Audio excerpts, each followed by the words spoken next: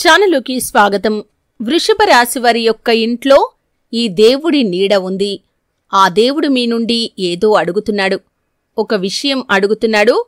ఆ విషయం ఏంటో మీరు అర్థం చేసుకొని ఆ దేవుణ్ణి కనుక మీరు సంతృప్తిపరిచారంటే ఇక మీ యొక్క జీవితంలో దేనికి లోటు లేకుండా పోతుంది. మీ యొక్క జీవితంలో మీకున్నటువంటి ప్రతి సమస్యకి కూడా పరిష్కారం లభిస్తుంది. మీరు ఆర్థికంగా పురోగతి సాధిస్తారు. మీ యొక్క జీవితంలో ఉన్నటువంటి మీ యొక్క జీవితంలో మరెన్నో శుభ ఫలితాలను కూడా మీరు పొందుకుంటారు. అయితే వృషభ రాశి వారి యొక్క జీవితంలో ఏ దేవుడి నీడ అనేది కనిపిస్తుంది? ఆ దేవుడు మిమ్మల్ని ఏమడుగుతున్నాడు? ఈ పూర్తి అంశాలు తెలుసుకునే ముందు మా చిన్న రిక్వెస్ట్ ఏంటంటే ఇంతకు ముందు కనుక మా ఛానల్ని మీరు సబ్స్క్రైబ్ చేసుకున్నట్లయితే సబ్స్క్రైబ్ చేసుకోండి. అలాగే పక్కనే ఉన్న గంట సింబల్ మీద ఆల్ అప్డేట్స్ని క్లిక్ చేయండి. అప్పుడే మేము అప్లోడ్ చేసే ప్రతి వీడియోకి మీకు నోటిఫికేషన్ అనేది వస్తుంది. వృషభ రాశి అనేది రాశి చక్రంలో రెండవది. కృత్తిక రెండు మూడు నాలుగు పాదాలు. రోహిణి ఒకటి రెండు మూడు నాలుగు పాదాలు. మృగశిర ఒకటి రెండు పాదాలలో జన్మించిన వ్యక్తులు వృషభ రాశి కిందికి వస్తారు. ఈ రాశికి అధిపతి శుక్రుడు. ఈ వృషభ రాశి వారి యొక్క మనస్తత్వాన్ని మనం గమనిస్తే కనుక వీరు చాలా ఓపిక గల మనుషులనే చెప్పుకోవాలి. సహనం సంయమనం వీరికి చాలా ఎక్కువగా ఉంటుంది. ఆత్మ గౌరవం కూడా ఎక్కువగా ఉంటుంది. మేలు చేసిన వ్యక్తులను జీవితాంతం మర్చిపోకుండా గుర్తుంచుకుంటారు. ఆర్థిక విషయాల్లో సమర్థులు అనే మంచి పేరును కూడా సంపాదించుకుంటారు.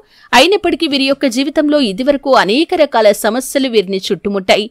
అనేక రకాలుగా వీరు బాధలు కష్టాలు అనుభవించారు. ముఖ్యంగా ఆర్థిక సమస్యల చేత ఒక్కొక్కసారి చాలా నిరాశ నిస్పృహలకి లోనైనటువంటి పరిస్థితులను కూడా వీరు చూశారు.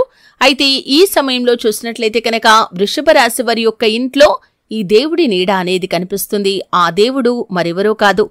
ఆ పరమశివుడు. సాక్షాత్తు పరమశివుడి యొక్క నీడ మీ గృహంపై పడింది. మీ యొక్క ఇంట్లో మీకున్నటువంటి ప్రతి సమస్యకి కూడా పరిష్కారం అనేది లభించబోతుంది. ఆ పరమశివుడు మిమ్మల్ని ఒక విషయం అడుగుతున్నాడు. ముఖ్యంగా ఆ విషయం ఏమిటి అంటే కనుక పరమశివుణ్ణి మీరు ఆరాధించండి అభిషేకం చేయండి. అన్నింటికంటే ముఖ్యంగా మీరు చేయాల్సింది దాన ధర్మాలు చేయండి. అంటే మీ శక్తి మేరకు అవసరాలు ఉన్నవారికి సహాయం చేయండి. అంటే ఆర్థిక స్తోమత ఎక్కువగా ఉన్నవారు వంద మందికి సహాయం చేస్తే మీ స్తోమతను బట్టి మీరు ఒక్కరికైనా సరే సహాయం చేయండి. అది ఆర్థికపరమైన సహాయం కావచ్చు మాట సహాయం కావచ్చు లేకపోతే వారికి ఒక ఓదార్పు కావచ్చు వారి సమస్యలకి ఒక పరిష్కారం కావచ్చు. ఈ విధంగా వారి యొక్క జీవితంలో ఎటువంటి సమస్యలైతే వారు ఎదుర్కొంటున్నారో దానికి ఒక పరిష్కారాన్ని చూపించండి. మీకు చేతనైనంత సహాయం ఎదుటి వ్యక్తికి కనుక మీరు చేస్తే ఖచ్చితంగా ఆ పరమశివుడు సంతృప్తి చెందుతాడు. మీ ఇంటికి వచ్చిన అతిథులను గౌరవించండి. అవసరం కోసం ఎవరైనా మీ ఇంటికి వస్తే వారిని ఖాళీ చేతులతో పంపించకుండా వారికి ఏదైతే మీరు సహాయం చేయగలుగుతారో ఖచ్చితంగా సహాయం చేయండి. ఆ పరమశివుడు సంతృప్తి చెంది మీ యొక్క జీవితంలో మీకున్నటువంటి కష్టాలన్నింటికీ కూడా సమస్యలన్నింటికీ కూడా ఖచ్చితమైన పరిష్కారాన్ని అయితే చూపిస్తాడు. అలాగే ఆర్థిక పురోగతి కూడా మీ యొక్క జీవితంలో మీరు ఖచ్చితంగా పొందుకుంటారు. ఆ పరమశివుడి యొక్క అనుగ్రహంతో మీరు చేపట్టిన ప్రతి పనిలో కూడా విజయాన్ని పొందుకునే అవకాశాలు ఉంటాయి. ఉద్యోగపరమైన అంశాలు కావచ్చు లేకపోతే వ్యాపారపరమైన అంశాలు కావచ్చు అనారోగ్య సమస్యలు కావచ్చు ఈ విధంగా మీ యొక్క జీవితంలో ఏ సమస్యలతో అయితే మీరు చాలా కాలంగా సతమతమవుతూ ఉన్నారో వాటన్నింటికీ కూడా ఆ పరమశివుడు పరిష్కారాన్ని చూపిస్తాడు. ముఖ్యంగా మీ యొక్క జీవితంలో విదేశీయానానికి సంబంధించి కావచ్చు వివాహానికి సంబంధించి కావచ్చు ఉద్యోగంలో ప్రమోషన్కి సంబంధించి కావచ్చు మీరు ఎటువంటి బాధలైతే సమస్యలైతే అనుభవిస్తున్నారో వాటన్నింటికీ కూడా ఖచ్చితంగా పరిష్కారాలు లభించబోతున్నాయి.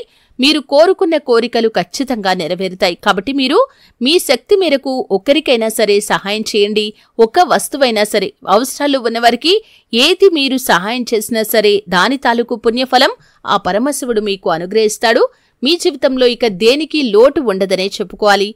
కాబట్టి ఖచ్చితంగా ఈ పని చేయండి. ఆ పరమశివుడు సంతృప్తి చెందుతాడు. అలాగే శివలింగానికి జలాభిషేకం చేయించండి. ఖచ్చితంగా ఆ పరమశివుడు సంతోషించి మీరు అనుకున్న కోరికలు అన్నీ కూడా నెరవేరేలాగా చూస్తాడు. చూశారు కదండి? వృషభ రాశి వారి యొక్క గృహంపై ఏ దేవుడి నీడ ఉంది? అతను మీ నుండి ఏమడుగుతున్నాడు ఈ పూర్తి అంశాలు తెలుసుకున్నారు. వీడియో నచ్చితే ఖచ్చితంగా లైక్ చేయండి. మరిన్ని మంచి మంచి వీడియోల కోసం ఇప్పుడే మా ఛానల్ని సబ్స్క్రైబ్ చేసుకోండి.